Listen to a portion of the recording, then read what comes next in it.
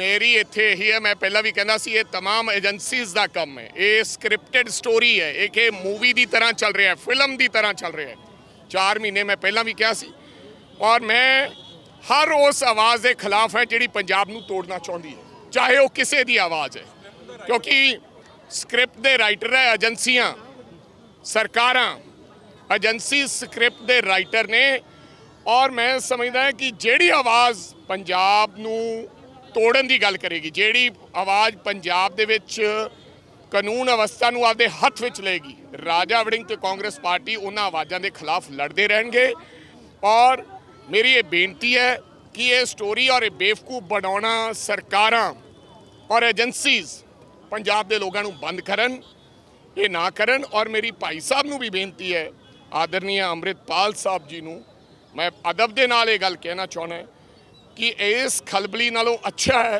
ਕਿ ਜਿਸ ਤਰ੍ਹਾਂ ਕੇ ਤਰੀਕੇ ਦਾ ਪੰਜਾਬ ਦਾ ਮਾਹੌਲ ਬਣਿਆ ਹੈ ਤੁਹਾਨੂੰ ਖੁਦ ਨੂੰ ਸਰੈਂਡਰ ਕਰ ਦੇਣਾ ਚਾਹੀਦਾ ਪੁਲਿਸ ਦੇ ਹਵਾਲੇ ਤਾਂ ਜੋ ਸੱਚ ਦਾ ਸੱਚ ਝੂਠ ਦਾ ਝੂਠ ਲੋਕਾਂ ਦੇ ਸਾਹਮਣੇ ਆਵੇ ਜੋ ਵੀ ਹੈ।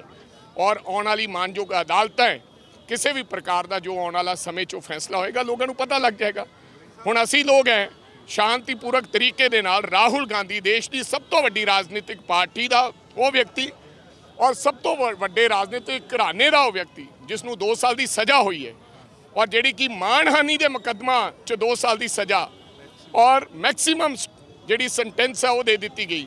ਸਾਡਾ ਲੜਾਈ ਲੜਨ ਦਾ ਜਿਹੜਾ ਤਰੀਕਾ ਹੈ, ਅਸੀਂ ਸੰਵਿਧਾਨ ਦੇ ਵਿੱਚ ਰਹਿ ਕੇ, ਕਾਨੂੰਨ ਦੇ ਵਿੱਚ ਰਹਿ ਕੇ ਅਸੀਂ ਉਹ ਲੜਾਈ ਲੜ ਰਹੇ ਹਾਂ। ਔਰ ਸਾਨੂੰ ਪੂਰਨ ਮਾਣ ਹੈ ਕਿ ਅਸੀਂ ਇਸ ਲੜਾਈ ਤੇ ਜਿੱਤ ਹਾਸਲ ਕਰਾਂਗੇ। ਉਹਦੇ ਵਿੱਚ ਉਹਦਾ ਲਗਾਤਾਰ ਜ਼ਿਕਰ ਕੀਤਾ ਗਿਆਨੀ ਹਰਪ੍ਰੀਤ ਸਿੰਘ ਹੋਰਾਂ ਨੂੰ ਇਨਵੋਲਵ ਕਰਨ ਦਾ ਤੇ ਨਾਲ ਹੀ ਉਹਨਾਂ ਸਰਬੱਤ ਖਾਲਸਾ ਬਣਾਉਂਦਾ ਇਹਦੇ ਪਿੱਛੇ ਤਾਂ ਮਕਸਦ ਕੀ ਲੱਗਦਾ ਚਲੋ ਮੈਨੂੰ ਨਹੀਂ ਲੱਗਦਾ ਕਿ ਮੈਂ ਇਸੇ ਕੋਈ ਟਿੱਪਾ ਟਿੱਪਣੀ ਕਰਾਂ ਕਿਸੇ ਵੀ ਇੰਸਟੀਟਿਊਸ਼ਨ ਦੇ ਬਾਰੇ ਮੈਂ ਗੱਲ ਕਰਾਂ ਮੇਰੇ ਕੋਲ ਇਹ ਅਧਿਕਾਰ ਨਹੀਂ ਹੈ ਇਹ ਗਿਆਨੀ ਹਰਪ੍ਰੀਤ ਸਿੰਘ ਜੀ ਨੇ ਦੇਖਣਾ ਹੈ ਜਾਂ ਉਹਨਾਂ ਨੇ ਦੇਖਣਾ ਕਿ ਕੀ ਕਰਨਾ ਹੈ ਕੀ ਨਹੀਂ ਕਰਨਾ। ਲੇਕਿਨ ਮੈਨੂੰ ਲੱਗਦਾ ਹੈ ਕਿ ਸਾਨੂੰ ਸਰਬੱਤ ਦੇ ਭਲੇ ਲਈ ਅਰਦਾਸ ਜ਼ਰੂਰ ਕਰਨੀ ਚਾਹੀਦੀ ਹੈ, ਸਮੂਹ ਪੰਜਾਬੀਆਂ ਲਈ ਕਰਨੀ ਚਾਹੀਦੀ ਹੈ। ਚਾਹੇ ਉਹ ਹਿੰਦੂ ਹੈ, ਚਾਹੇ ਮੁਸਲਮਾਨ ਹੈ, ਚਾਹੇ ਉਹ ਸਿੱਖ ਹੈ।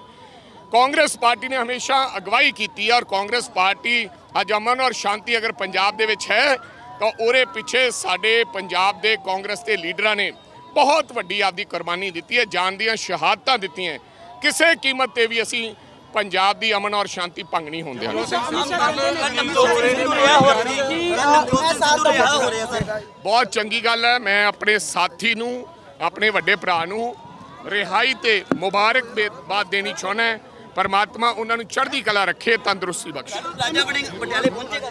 ਮੇਰੇ ਕਈ ਪ੍ਰੋਗਰਾਮ ਨੇ ਇੱਥੇ ਔਰ ਮੈਂ ਪਰ ਉਹਨਾਂ ਨੂੰ ਜੀ ਆਇਆਂ ਕਹਿੰਦਾ ਮੇਰੇ ਕਿਉਂਕਿ 1 ਤਰੀਕ ਦੇ ਕਾਰਜਕ੍ਰਮ ਆਲ ਇੰਡੀਆ ਕਾਂਗਰਸ ਕਮੇਟੀ ਦੁਆਰਾ ਹਰ ਵਿਧਾਨ ਸਭਾ ਲੈਵਲ ਤੇ ਪ੍ਰੈਸ ਕਾਨਫਰੰਸ ਨੂੰ ਕਰਨਾ ਹੈ ਰੋਸ ਮਾਰਚ ਰੱਖੇ ਹੋਏ ਹੈ।